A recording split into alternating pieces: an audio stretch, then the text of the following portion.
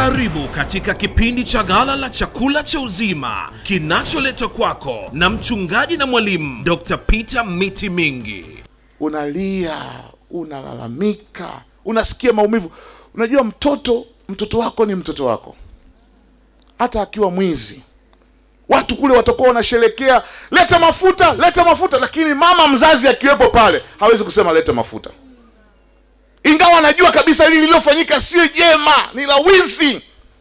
Kweli kaiba kweli kavunja lakini mama mzazi hawezi kusema leta mafuta. Tunataka mungu abariki uzao wetu. Sio kwamba tu tunazaa watoto lakini tuzae watoto ambao wataleta matunda na watamletea mungu utukufu. Uzao wako ubarikiwe mungu abariki uzao wako watoto wako wamtumikie mungu. Tusiwakute tena watoto wako jioni kikiingia giza wanajizungusha kwenye mabaa kutafuta wanaume wajiuze. Tusiwakute wako kwenye madangulo tusiwakute wanabomoa majumba. Uzao wako mungu amekusudia ubarikiwe. Lakini shetani anazunguka kuiba. Anaiba baraka za uzao wako anaiba ahadi za mungu. Kama kuna wamama wana watoto ambao wanawasumbua. Najua kuna somo la watoto hapa linafundishwa huenda lakini nataka kesho nimwombe mungu kwa ajili ya msiba wa wamama ambao wanalia na watoto. Nilikuwa mbea nikakuta mama mmoja analia mtoto amekufa. Ni kijana mtu mzima. Hawakuweza kumzika alikuwa mwizi. Na huyo mama ameokoka tena ni mke wa mzee wa kanisa. Lakini mtoto kaiba wakasema this time hakuna polisi hakuna kupeleka peleka wapi? Ni moto. Walimfunga wakamvisha taili wakammwagia mafuta petroli. Yani walikuwa wako tayari kuchangishana pale yapatikane mafuta ya kutosha. Wanasema huyu asiponee hospitali tumechoka asipolee hospitali. Wamemzunguka hapo mbea amepigwa lile tairi kamwagiwa dumu la petroli. Wakati lile dumu moja linaisha watu wanachangishana kimbia haraka sheri wanakimbia na bodaboda. Kaongeze. Dumu lingine. Wakati mama anapata taarifa anakimbia kwenye eneo la tukio ndo alikuta kichwa kinamalizikia. Hakuokota hata unyama mifupa ile iliungua ikawa vumbi.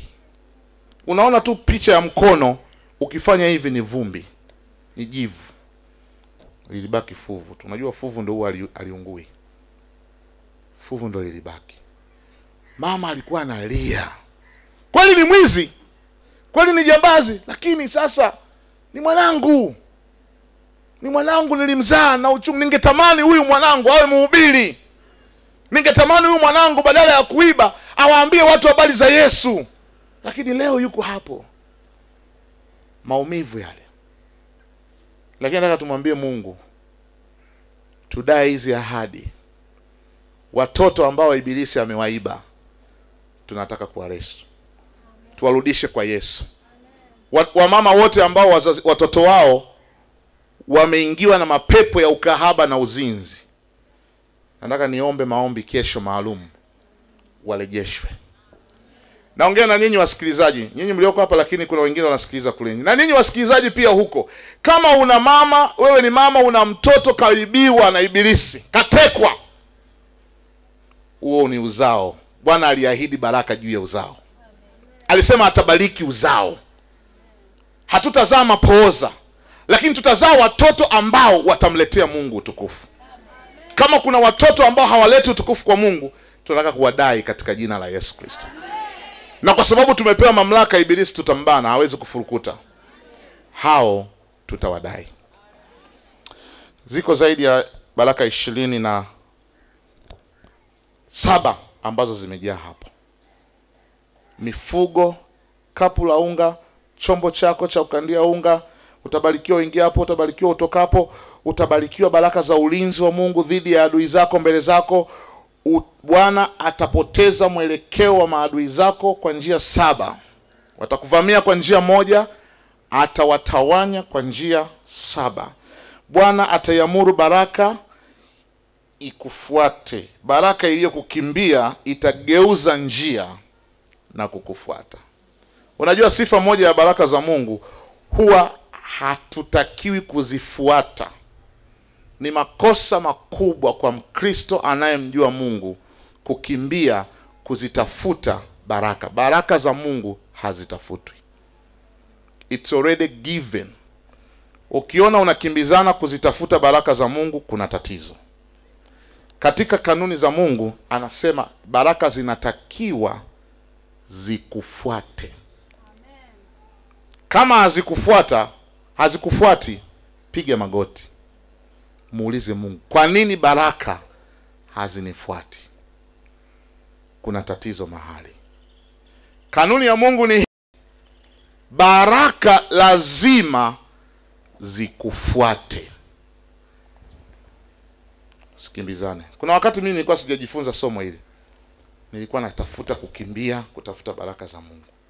Kutafuta kibali. Nikubalike. Niende mpaka nikahubiri huko nje nchi mbalimbali niende kwa hiyo nikaanza kuzitafuta baraka. Nikaanza kutafuta mialiko niitwe nikahubiri. Haikuja. Hiyo sio kanuni ya mungu. Nakumbuka niliona kwenye kwenye kwenye magazeti walikuwa wanatangaza kuna kongamano moja litafanyika kule hanova ujerumani. La watumishi. Nikang'ang'ana sana mimi mpaka niende. Lazima ilikuwa ujigharimia kila kitu. Nikaanza kutafuta nauli kimbizana huku na huku nilitengeneza fomu nilikuwa napita mtaa kwa mtaa maofisini na kusanya nauli. Mwezi mzima nimepiga mguu kwa mguu ofisi kwa mguu kwa, kwa ofisi wananipa tu ahadi. Mpaka dakika ya mwisho kwenye ile barua ya mwaliko walikuwa wanasema mje na vifaa vya michezo maana baada ya mafunzo kutakuwa na michezo uje na bukta uje na viatu uje na... kwa hiyo kila hela nilikuwa napata ni kwanza kununua hivyo vifaa kwanza. Mpaka dakika ya mwisho safari ni kesho mimi nina bukta na singland tu. Na viatu vya mpira basi sikwenda. Kwa nini? Kwa sababu baraka za mungu hazitafutwi. Mungu anasema anaamuru mwenyewe zikufuate. Ukitulia kwenye kanuni zitakuja zenyewe.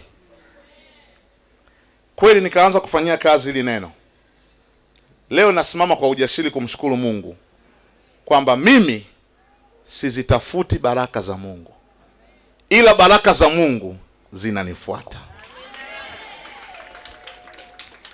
Niliitwa kwenda kuhubiri nchi moja ngumu sana inaitwa spain madrid.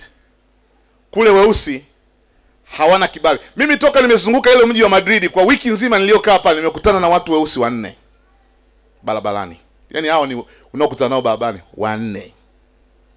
Hoteli niliyokuwa nakaa mimi nilipoingia mule hotelini wale wazungu wote walishtuka. Wakasema huyu lazima mwizi huyu. Kwa sababu hakuna mtu mweusi anaweza kulala kwenye hoteli kama hii. Huyu atakuwa ni mwizi au amekuja kufanya kitu fulani. Lakini mimi nilienda madrid nikahubiri watu wakaokoka nikahubiri makanisani hata wanaosema mwa- mwafrika hana kibali mimi nilipata kibali. Nakumbuka jumapili moja nilikuwa na, nilihubiri makanisa manne kwa jumapili moja. Yaani baada ya kuhubiri kwenye ile kongamano wachungaji wakaanza kunifanyia booking. Utahubiri jumapili kanisani kwangu. Kwa hiyo nilipangiwa ratiba makanisani. Yaani wakati nahubiri kwenye kanisa hili mzee wa kanisa wa kanisa fulani yuko pale ananisubiria. Niseme tu amina. Hata hakuna kwenda kukaa kwenye kiti. Biblia imeshapelekwa kwenye gari maana kanisa lingine ndo wanamalizia sifa wanamsubiria mhubiri anamaliza kule ili aje ahubiri huko. Nilihubiri makanisa manne kwa siku moja. Na kutoka pale hata sikuwa na habari nikaambiwa nikashangaa mwaliko mwingine unakuja sasa bwana tumesikia kuna mhubiri kule tanzania tunataka uje nchi inaitwa mexico. Huko mbali huko wa mexico wanasema tafadhali kwa gharama zetu kwa kila kitu tutagharimia uje uhubiri kuna kongamano kubwa tumeandaa. Nikachukua tiketi nikaingia ndege nikaenda mexico. Na mimi nilijua kwenye lile kongamano tuko wahubiri wengi. Kwa hiyo nilikuwa nimejiandaa kwa masomo machache. Nikafika pale nikakuta watumishi wamejaa. Nikaomba ratiba. Nikiangalia semina ilikuwa inaanza asubuhi saa mbili inaenda mpaka mchana tunaenda kula tunarudi mpaka saa kumi breki alafu saa moja tunaenda mpaka saa nne nikaangalia idadi ya walimu nikaangalia ile breki nikapigwa mshangao. Hakukuwa na mwalimu mwingine yeyote. Yaani kuanzia asubuhi eti mpaka saa nne mwalimu mmoja tu. Na sio kwa siku moja wiki nzima. Mi nimeenda masomo yangu mawili pale nikajua nikipiga nikipiga nikipiga nimemaliza ratiba. Wanaambia pasta huu mzigo wote ni wako. Kuanzia jumatatu mpaka ijumaa mpaka jumamosi tunamaliza mungu akafanya mambo makubwa. Wazungu wale wa, wa mexico wale hawajawahi kuona wanaangushwa mapepo kwa njia hiyo. Wazungu wale walilala chini pale na mapepo yakatoka. Maana mapepo yanakaa pia kwa wazungu. Unajua wazungu wakija huko tunaona ni kama they are next to jesus. Lakini nao pia wana mapepo na majini na kina subiani na makata. Lakini haikuishia hapo. Nimetoka mexico nikaambia sasa nenda marekani nikaenda marekani pia nikahubiri. Haikutoka hapo. Mwaka, mwaka huu niliitwa kwenda kuhubiri mahali ambako huwezi kuamini kama ninaweza kwenda. Lakini nilikwenda. Kwenda nchi ya waislamu. Naitwa yemen. Yemen hawataki wahubiri. Wakipatikana kama ni mhubiri kichwa unaacha. Na mimi nilifika airport nikakamatwa waliniangalia wakanitilia mashaka. Na mashaka yao makubwa walikuwa wanajua huyu ni black america. Amekuja black america.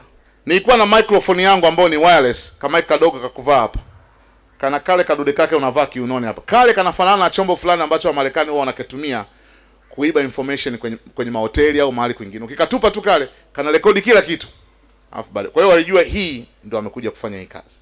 Kwa hiyo nilikaa ndani kwa miaka matatu nikifanyia uchunguzi na wale maaskari wa, wa yemen. Lakini bwana alinitoa. Kwa sababu mungu akiwa na kusudi lazima litimie. Nilitoka. Nazungumzia kwamba baraka za mungu hazitafutwi. Zinatakiwa zikufuate. Ukikimbizana nazo kuna tatizo kwako. Kwa hiyo nikaenda yemen nikatoka huko nikaenda dubai nikatoka huko nikaenda marekani nikarudi. Nimejituliza tu hata sijamaliza muda mrefu nikaambia bwana kule kuna nchi moja kule china wachungaji wake hawaendi bible school. Makanisa hayaruhusiwi wanafanya makanisa underground. Hawana training wale. Kwa hiyo katika mapendekezo ya walimu mbalimbali duniani umependekezwa wewe. Uende kufundisha china na hong kong. Watumishi. Wale wanaoendesha makanisa underground mtaenda kufichwa mahali muwe una- uwe unawafundisha na kule hong kong. Hakuna mahali nimejitafutia. Jamani kwenda kwenye internet ta, ta, ta, ta, ta, ta. jamani nialikeni. Nina huduma kubwa sana. Aa. kama una huduma kubwa sana itaonekana. Usianze kupita mama mwenyekiti. Naomba basi mnialike. Kwenye nimesikia mnaandaa kongamano lile la wamama naomba basi mama angalau jina langu na mimi sogeza sogeza pale liwepo. Ah, ukija sikia na mtu anajipigia pigia debe ujue hapa hamna kitu. Gari zuri alihitaji wapiga debe. Wanaongoza wenyewe. Ukiona bwana njoo mpaka wanang'ang'ania na mabegi weka mashaka. Mungu awabariki sana Ni matumaini yangu kuwa umebarikiwa na mafundisho ya neno la Mungu yaliyoletwa kwako na mchungaji na mwalimu Dr. Peter Miti Mingi.